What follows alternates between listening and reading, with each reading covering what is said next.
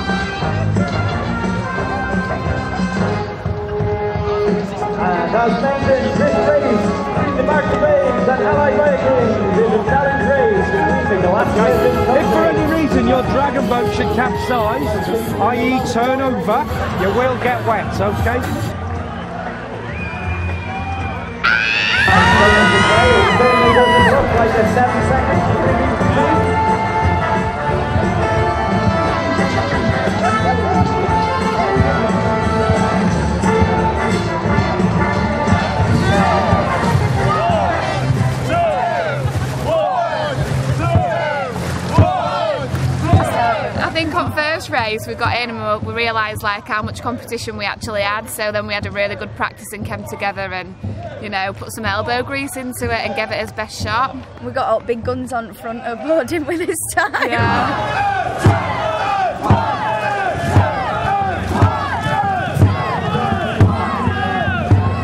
But it was good because when we finished as well, his boat were coming up, it was just like a row of everybody that we knew wanted, like cheerleaders and residents and his local chairman for Adventure Playground and policemen, and they were all like cheering us on, weren't they? Spurred us on more, didn't it? When you saw everyone all lined up outside at Canal Yeah, everybody that you know from everyone you knew from where. cheering us on.